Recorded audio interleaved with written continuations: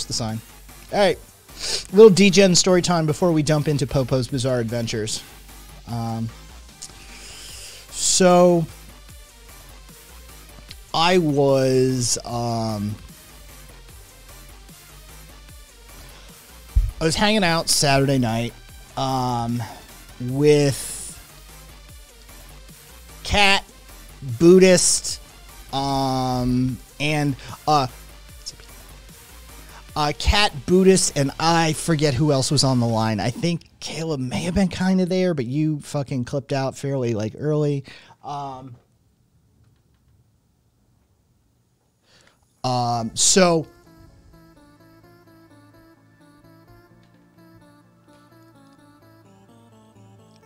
I have, let's call it a net out, right? Fisherman, right? Um, anybody who wants to hook up, anybody that wants to have a certain level of sexual activity, um, especially that of a kinky style in their life, you got to keep the net out, right? You got to keep the line in the water. You got to keep fishing. You got to keep fishing. The, the fish ain't going to jump into your boat for you usually. So you got to keep fishing. So we were playing. Uh, we were playing Zomboid. Had some food going in the background, and something came through. And so, um, did you say God has made you a fisher of men? Yeah, Marcus. Um, praise Jeebus. So something comes through, and I um, let's just hang on. Uh, for the purposes of.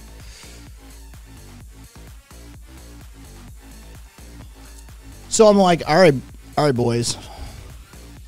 I'm gonna have to go at like midnight. Like I need to like leave at midnight. So like 11:45, that sort of thing. We were making decent progress too on Zomboid, which we got to the next day.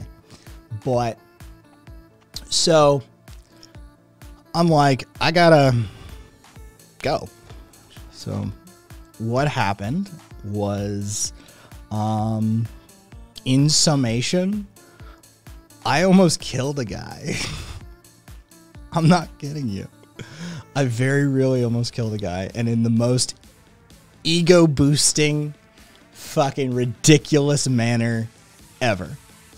Um, there's no way to walk out of this situation without like, yeah, there's no fucking way. There's no fucking way. Um, so the guy was into uh, some pup play. That was his deal. He had the mask. He had the, the the sort of persona for it. He likes to be considered a you know a pup, a dog. All right, whatever. I was there for another reason. Um, let's just say, because you know I don't like to get too gory with the details. Um, let's just say all bases were checked. Um, but um, just gonna. Oh. So, for those that follow along with Kai's level of degeneracy, arm deep.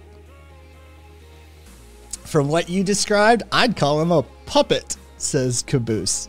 Yes. Um, arm deep. Impressive. It actually impressive. I was I complimented him several times. I was like, not bad, not bad. Um, so Buddhist, I can hear you say that. Um, dude, over nine thousand. Yeah, Aspen. Yeah, and um, it's Okay. Not. But yeah. Like proper. Mm-mm. Mm. It was it was impressive. What's up, Glazy? Um it was impressive. But it is not any of the um it wasn't any of that that was the uh, potential damage. I didn't kill him by that. It's very impressive his capability doing that. Um, when I first walked in, I had him kneeling in front um, of me. Um, I looked down and I noticed a couple of things. I noticed a jaw sort of. Okay, he's got the pup mask, but I can still see movement. And I'm noticing like an elevated breathing rate and not just like a normal elevated breathing rate. I'm seeing like a labored breathing. So I ask, because I don't put up with that, by the way. I don't put up with that. I said, Are you spun?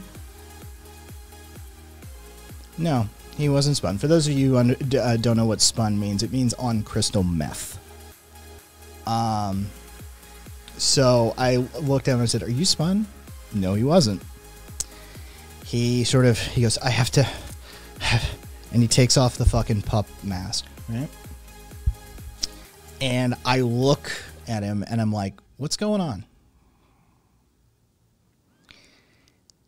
I move him to his couch, get him off his knees and move him to his couch. Right?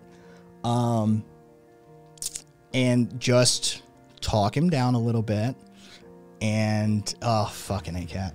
Um talk him down a little bit from it. And I'm like, what's going on? And he goes, I had childhood asthma that scarred my lungs very badly and occasionally I can get an anxiety attack and it'll trigger my asthma like it used to be. And I'm like, okay, so what triggered your anxiety attack? Now, I'm still standing over him. I've just got him sitting on the couch. And he looks up at me and he goes, You're just so hot. I don't know why you're here.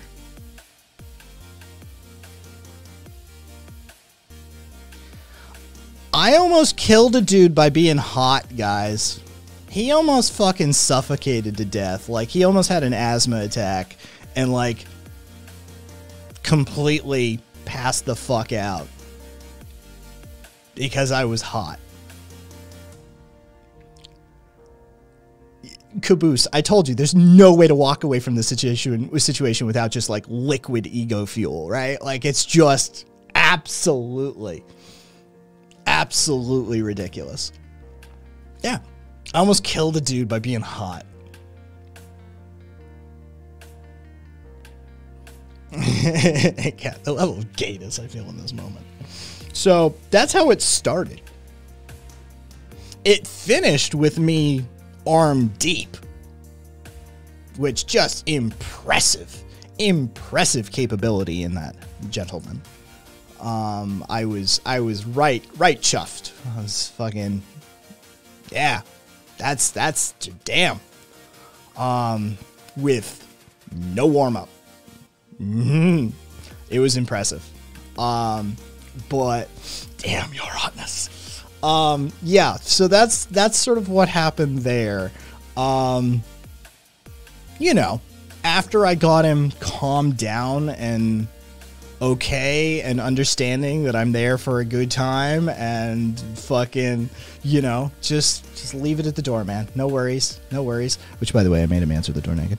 Um, anyway, um, I do that with most of the subs. If I'm going there, yeah. If they come here, they're naked as soon as they walk in. If I go there, they enter the door naked. Um, dude, I love, I love. This is my favorite part about being a dom, by the way, is no surprises. I love no surprises. I absolutely adore it.